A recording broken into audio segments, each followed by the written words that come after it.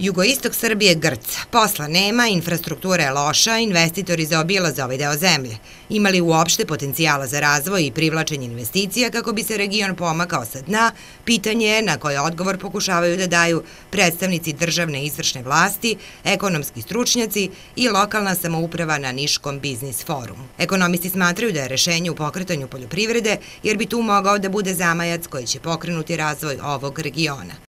Bitno je, znači, uz donošenje zakonske regulative, naravno, stvarati ambijent za investiranje e, i u poljoprivredu i u industriju, u otvaranje novih radnih mesta. Tu je velika uloga, naravno, države, ali i lokalnih samouprava. Ono što je potrebno za e, postizanje upravo tog cilja ravnovnog regionalnog razvoja jeste prethodno sprovođenje reformi koji se odnose na ukupni makroekonomski ambijent.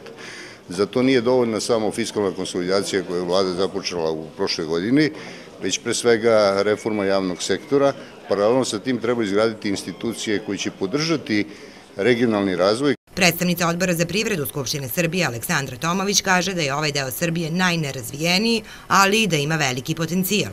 Taj potencijal mogao bi da se pokrene i sečajem koji je došao kao, kako kaže Tomovićeva, lek, jer će neki delovi firme ili cela preduzeća biti prodata investitorima, Ono što bi trebalo da ih motiviše da ulažu u takva preduzeća jeste novi zakon i nova agencija koja će uskoro da bude formirana. Država sad je pripremila kroz određene e, investicione fondove koji će ići i ići će nov zakon o investicionim ulaganjima kojima će se formirati praktično spajanje će doći do SIEPE i Agencije za regionalni razvoj koja će biti nova agencija, razvojna agencija koja treba da obezbedi znači sve vrste subvencija za otvaranje otvaranje novih radnih mesta i novih fabrika.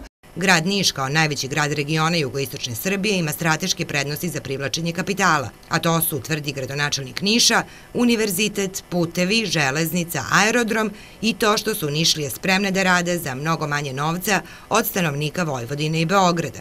I to je jedna od prednosti koja se može pojaviti da e, neko ko će sutra zaposliti hiljadu radnika na mesečnom nivou će za zarade davati 100.000 evra manje.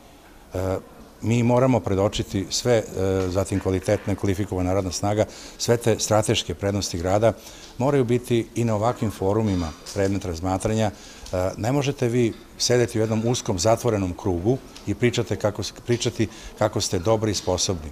Grad Niš je trenutno u pregovorima sa dva investitora zainteresovana za ulaganje u Niš i zapošljavanje oko hiljadu ljudi, tvrdi Perišić.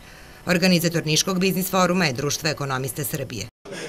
Na ovom skupu očekujemo predstavnike i izvršne i zakonodavne vlasti, vrlo kompetentne predstavnike, znači države i lokalne samouprave i veoma ugledne privrednike, uz to i finanski sektor i kada sagledamo sve aspekte ovih brojnih problema, onda očekujemo zaista neka konkretna rešenja za poboljšanje situacije, jer je zaista krajnje vreme da ozbiljno pristupimo problemima regionalnog razvoja. Niško savjetovanje ekonomista održano je na ekonomskom fakultetu. Uglavnom su govornici i panelisti bili iz Niša i Beograda, a malo njih iz regiona, iako je tema savjetovanja regionalna.